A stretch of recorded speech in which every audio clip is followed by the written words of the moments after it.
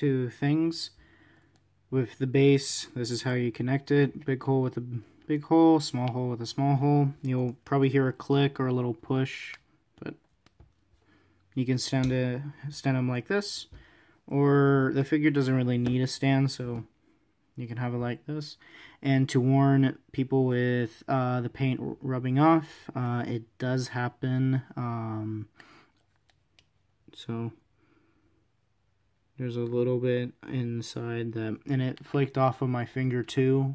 Um, but I don't know if you can see that, but yep. Just letting you guys know. Have a good day.